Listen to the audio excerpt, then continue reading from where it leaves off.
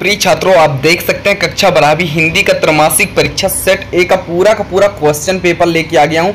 आपके स्क्रीन पर पूरा का पूरा क्वेश्चन पेपर आपकी स्क्रीन पर बताऊँगा। दोस्तों वीडियो के अंत तक बने रहिए। पूरा का पूरा आंसर सहित मैं बताऊँगा। इस वीडियो के माध्यम से आप देख सकते हैं। पूरा का पूरा रियल क्वेश्चन है आप वीडियो के अंत तक बने रहिए। अगर चैनल पर नए चैनल को सब्सक्राइब कर लीजिए और बेल आइकन का बटन प्रेस कर लीजिए। जैसे ही मैं कोई नेक्स्ट वीडियो अपलोड करूँ तो आपको नोटिफिकेशन सबसे पहले प्राप्त हो। चलिए वीडियो स्टार्ट करते हैं। पहला क्वेश्चन है हमारा पहला प्रश्न है, सही विकल्प चुनकर लिखिए। जी हाँ दोस्तों, पहला प्रश्न क्या है? सही विकल्प चुनकर लिखिए। इसमें पहला क्वेश्चन क्या है? दिन जल्दी जल्दी ढलता है। कविता में कभी हताश हुआ, दुखी क्यों? इसमें चार ऑप्शन दिए गए आप देख सकते हैं। इनका स्क्रीनशॉट कर लीजिए, लिंक डिस्क्रिप्शन में आप जाकर चेकआउट कर सकते हैं। पूरे के पूरे पीडीएफ प्रोवाइड करा दिए हैं। दूसरा क्वेश्चन है, किस राज रस को रस राज कहा जाता है। करुण, भक्ति, श्रृंगार या बातसल इसी तरह हमारा तीसरा क्वेश्चन है, जो कि आपके स्क्रीन पर सो रहा है। जी हाँ दोस्तों, तीसरा क्वेश्चन है, बाज़ार का जादू चढ़ने का अर्थ क्या होगा? आकर्षक वस्तुएँ, उधार की वस्तुएँ, उपहार की वस्तुएँ, इसमें से कोई नहीं। आप देख सकते हैं, इसमें चार ऑप्शन दिए गए। इसी तरह हम बात करते हैं अगले क्वेश्चन की। तो अगला क्वेश्चन जो कि आपके स्क्रीन पर सो रहा है, वे विभिन्न शब्द जिनका स्रोत संस्कृत नहीं है, भारत में ग्राम्य क्षेत्रों अथवा जनजातियों में बोली जाने वाली विभिन्न भाषा परिवारों कहलाते हैं।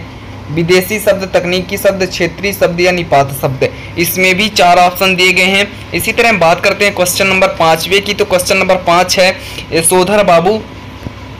क्वेश्चन नंबर पाँच है यशोधर बाबू, अपने आदर्श किसे मानते थे? तो पहला है, अपने साले को, अपनी पत्नी को, भूषण को या किसंदा को? इसी तरह हम अगले क्वेश्चन की बात करते हैं। टीवी पर प्रसारित खबरों में सबसे महत्वपूर्ण है। विजुअल नेट वाइड उपयुक्त सभी। इसी तरह हम बात करते हैं क्वेश्चन नंबर दो की। तो क्वेश्चन नंबर दो देख लेंगे दोस्तों हम। क्वेश्चन नंबर दो, खाली स्थान है इसमें पहला प्रश्न है, भक्तिकाल की प्रेम मार्गी शाखा में कवि डॉट डॉट है? इसका सही आंसर जैसी होगा। और दूसरा क्वेश्चन है, पतंग की पतली कामनी डॉट डॉट से बनी होती है तो बाँस की तीसरा क्वेश्चन है बाईस से छब्बीस मात्रा वाले शब्द कहलाते हैं, सवैया। इसी तरह अगला क्वेश्चन है, भक्तिन का कद छोटा था। इसी तरह पांचवा क्वेश्चन है, हालदार साहब अब भी नहीं समझ पाए वाक्य में निपात शब्द है। यशोधर बाबू ने दफ्तर से लौटते हुए रोज डॉट डॉट बिरला मंदिर जाने की रीति अपनाई। और नेक्स्ट क्वेश्चन है, दोस्तों संपादी को अखबार की आवाज़ मानी जाती है। क्वेश्चन नंबर तीन है आपके स्क्रीन पर, आप देख सकते हैं। सही जोड़ी बनाकर लिखिए। क्वेश्चन नंबर तीन, सही जोड़ी बनाकर लिखिए। आत्म इधर क्वेश्चन दिए गए हैं। इनका स्क्रीनशॉट कर लीजिए। इसका आंसर भी आपकी स्क्रीन पर दिया गया है। आप आत्म परिचय का होगा मनोहर जोशी। महाकाव्य का होगा हरिवंश राय बच्चन। जेठ पुत्र होगा। जेठ पुत्र का जिठौट अर्थ के आधार पर वाक्य के प्रकार होते हैं आठ। सॉरी तीन होते हैं। सिल्वर बैंडिंग होती है आठ। मुद्रित माध्यम की विशेषता कहलाएगी। तो मुद्रित मात्रा की विशेषता कहलाएगी शब्दों के स्थित। इसी तरह हम नेक्स्ट क्वेश्चन की बात करेंगे। नेक्स्ट क्वेश्चन है, एक वाक्य में उत्तर लिखिए। क्या दोस्तों नेक्स्ट क्वेश्चन क्या है? एक वाक्य में उत्तर लिखिए। पहला प्रश्न है, कविता का उड़ना कौन नहीं जानता? दूसरा क्वेश्चन है, जहाँ काव्य की शोभा, वृद्धि, आधार, शब्द हो, वहाँ कौन सा अलंकार होता है? तीसरा है गन्ने के पके हुए गाढ़े रस को क्या कहा जाता है? चौथा क्वेश्चन चूरण बेचने का काम कौन करता था? पांचवा क्षेत्रीय शब्द लिखिए। छठवा किसनदा यशोधरा को क्या कहकर बोलाते थे? और सातवां है डेड लाइन किसे कहते हैं? इसका स्क्रीनशॉट कर लीजिए। यह सत्य असत्य के प्रश्न जो कि आपके स्क्रीन पर सो रहे हैं। पहला प्रश्न है, सीधी बात भाषा के चक्कर में टेढ़ी फंस गई। दूसरा है दुर्मिल सवैया का, दूसरा नाम चंद्रकला है। तीसरा है भक्तिन का जीवन संघर्षशील रहा। चौथा है लोकोक्ति का में कहावत भी कहते हैं। पांचवा है मनोहर श्याम जोशी को सहित अकादमी पुरस्कार से सम्मानित किया गया। अगला क्वेश्चन है, कैमरे के सामने बैठे अपाहिज के साथ साथ दर्शकों को भी रुलाने की कोशिश होती है। क्वेश्चन नंबर सिक्स की बात करेंगे दोस्तों तो अगर चैनल पर नए हो तो चैनल को फटाफट सब्सक्राइब करके बेल आइकन का बटन प्रेस कर लीजिए। जैसे ही मैं कोई नया वीडियो अपलोड करूँ तो आपको नोटिफिकेशन के रूप में प्राप्त हो जाए। क्वेश्चन नंबर छः देख लेंगे। नई कविता के दो विशेषताएँ लिखिए। दो नंबर का क्वेश्चन है इसके अथवा का प्रश्न। प्रयोगवादी कविता लिखिए।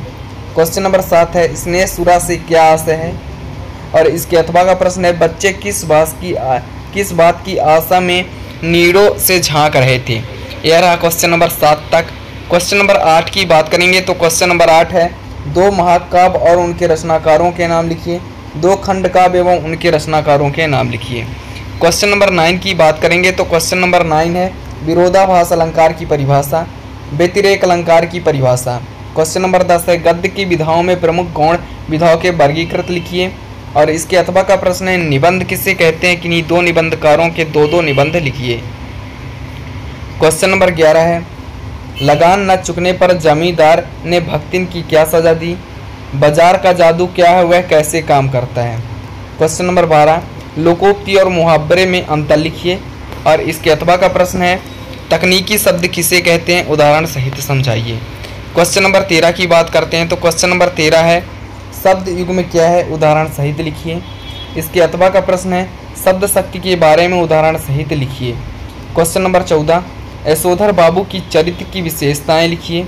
और इसके अथवा का प्रश्न है, जूझ कहानी की प्रमुख पात्र की विशेषताएँ लिखिए। क्वेश्चन नंबर पंद्रह। आप देख सकते हैं, आपकी स्क्रीन पर सो रहा है। एक अच्छे लेखन के लिए ध्यान देने वाले योग्य बातें कौन कौन सी हैं? इसके अथवा का प्रश्न है, पत्रकारी लेखन के बारे में लिखिए। क्वेश्चन नंबर सोलह की बात करते हैं तो क्वेश्चन नंबर सोलह है। निम्नलिखित बिंदुओं के आधार पर हरिवंश राय बच्चन और रघुवी या रघुवीर सहाय का साहित्यिक परिचय साहित्यिक परिचय लिखिए। दो रचनाएँ कला पक्ष और साहित्य में स्थान लिखने हैं।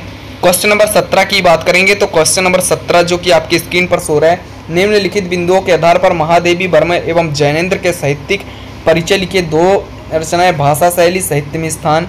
क्वेश्चन नंबर अठारह की बात करेंगे तो क्वेश्चन नंबर अठारह जो कि आपके स्क्रीन पर रहा है सोठा छंद की उदाहरण सहित परिभाषा लिखिए सबया छंद की उदाहरण सहित परिभाषा लिखिए क्वेश्चन नंबर 19 की बात करेंगे तो क्वेश्चन नंबर 19 में एक गद्यांश दिया गया है जो कि आपके स्क्रीन पर रहा है। क्वेश्चन नंबर 19 एक गद्यांश है जो कि तीन नंबर का है।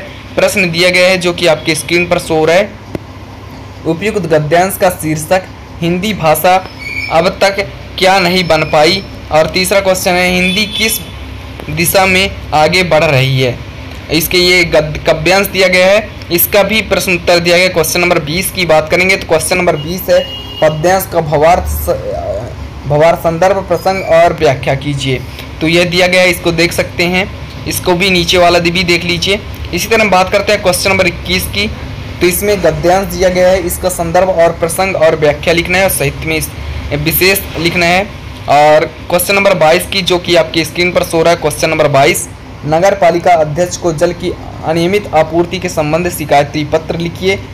और इसके अथवा का प्रश्न, अपने नाना जी के गाँव में वापस आने वाले मधुर स्मृतियों को पत्र लिखिए। क्वेश्चन नंबर तेईस, जो कि आपके स्क्रीन पर सो रहा है क्वेश्चन नंबर तेईस। निम्नलिखित विज्ञान विषयों पर एक विषय में रूपरेखा सहित निबंध लिखिए। स्वावलंबन भारतीय पर्वों का आनंद स्वत्व का महत्व स्वास्थ्य का महत्व सहित और समाज मेरे यादगार रेल यात्रा। दोस्तों आई होप यह वीडियो आपको अच्छा लगा हो। तो वीडियो अच्छा लगा हो तो लाइक कर दीजिए चैनल को सब्सक्राइब कर लीजिए और यह वीडियो अपने दोस्तों को ज़्यादा से ज़्यादा शेयर कर दीजिए। मिलते हैं कैसे नए टॉपिक से। इंटरेस्टिंग वीडियो जब तक के लिए जय हिंद।